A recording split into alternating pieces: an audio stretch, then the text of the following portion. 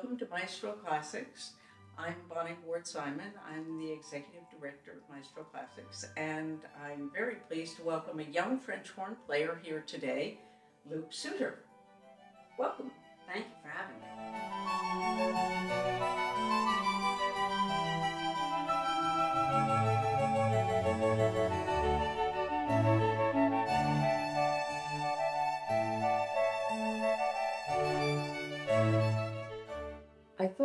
Be nice to have a French horn player because there's some wonderful French horn music on some of the recordings that we do for Maestro Classics. One of them, of course, is Peter and the Wolf, which features three horns that represent the wolf.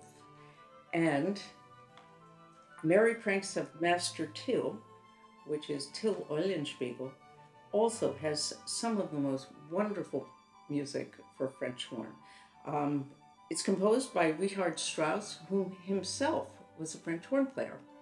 So, having Luke here today, I had a few questions for him because not every young person even knows about the French horn as an option of what instrument they should play. So, can I ask you, Luke, what made you want to play the French horn? Well, it actually wasn't my decision to make. Uh, in elementary school, I was always a musical person. Uh, but to get into the band, uh, you needed to do a bunch of musical tests, and then even then, the band director uh, chose the instrument for you. And so she would look at everybody's hands and mouths, have us do lip trills, and then she would decide what instrument she wanted for us. And then she would she called up my mom and said, "Look, I want uh, your son Luke to do the French horn, and it looks like he has the uh, right lips for it and hands for it, and so I'd like to try one." How old were you when this happened? Well, I had to be around nine or ten years old. It was the fourth grade. Fourth grade. Very nice. So you began in school. Yes. And was your school music teacher your first French horn teacher? Yes, that was my first French horn teacher. So how long was it before you got a private teacher? Uh, I got my first private teacher in seventh grade. Uh, it's when I really started to seriously start going after French horn, and uh, her name is Carolyn Clark wonderful French horn professor, and she's been my private tutor ever since then. I still do lessons with her today. She's absolutely wonderful. Now, when you first began, how long did you practice? And was it fun? Personally, I always like actually playing and interacting with the band more than I like uh, practicing. Let's just say I didn't practice as much as I probably should have. But uh, within the first couple of years, actually, my band teacher was a bit strict, and she made us fill out logs for uh, for practicing. So I had to practice around half an hour a day, mm-hmm. um, but I wasn't really uh, that dedicated to practicing. Right. Well, we trust you filled out the log. yes, yes. When did you begin to really practice seriously? I would say in the seventh grade. Seventh, uh, seventh grade when I started my lessons with Carolyn. Um, it's when I really started to develop more of a love for the French horn. Um, I always enjoyed playing it, but it's when I realized that I was going to high school for music. Around seventh grade is when I realized that that's really what I wanted to do in life, and so I started getting private lessons. So tell me, what's the difference between going to a high school for music and art and just going to a regular high school that has a band? Well, going to a musical high school, um, everything in the school, even academics, winds up being centered around the music. Uh, people will sometimes uh, have to miss classes for uh, for musical performances and orchestras. Uh, usually have more than one band that you are required uh, to be a part of. There's bands, orchestras, jazz bands, and then other certain special circumstances. Very nice. So, you said before you enjoy playing in ensembles. Yes. Yes. Um, I think that that always makes it more fun. I think it's very hard for piano students because playing the piano can be very lonely. But if you play an instrument like the French horn, um, you get to play with other people. Do you think that playing an instrument helped get you into college? Yes, it played a big role in that. Uh, French horn is actually notorious for uh, being very attractive to colleges for scholarship opportunity. Um, it is in the brass section, it's more on the difficult side to play because you do need a more developed ear in order to play French horn. And so uh, when I would go to college and audition for colleges, they were very interested in making sure that I could afford going to college. Do you have a favorite piece of music uh, with French horn?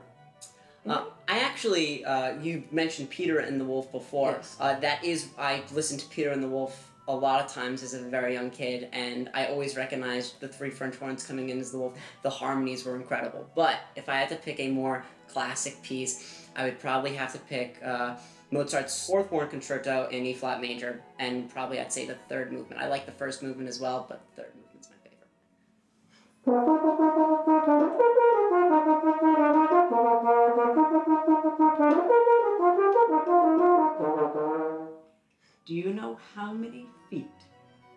Tubing there is if you stretch out a French horn? I, u- I used to know this. It's either 20 or 40. Right. I think it's 20 feet. 20 feet. Yeah, that was my I, initial. I remember someone who actually came to a concert and, as a demonstration, had a French horn that was uncoiled.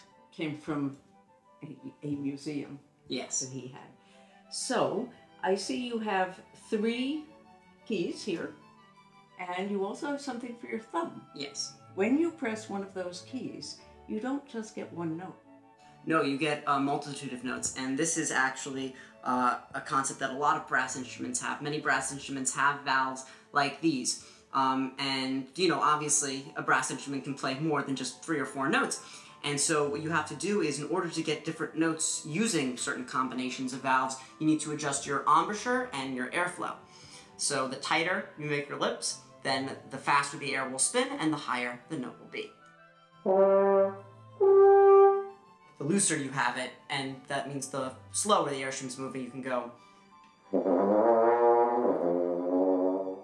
To almost sound like a tuba. Well, we can actually go into uh, tuba range. The Mm-hmm. French horn is actually has a very wide range. It's an alto instrument. Uh, it can hit notes that tubas can hit in their upper register, and uh, it can hit some notes that trumpets can hit. There is an extra special something with French horns, Yes. and that is that there's a trigger, isn't it, on the on the back? Yep, thumb trigger there, and that transfers the horn uh, into B flat horn, uh, which kind of basically changes the key of the whole instrument and allows you to hit uh, different notes easily with different fingerings. So um, I could, if I played uh, my version of a D, I can use just the first valve. But if I was in B flat, I would press both the first and second valve down and it can come out louder, smoother, more effectively. We usually use that for uh, higher notes. So, do you, is that written in the music, or is that something you just figure out? No, that's something you tend to just figure out.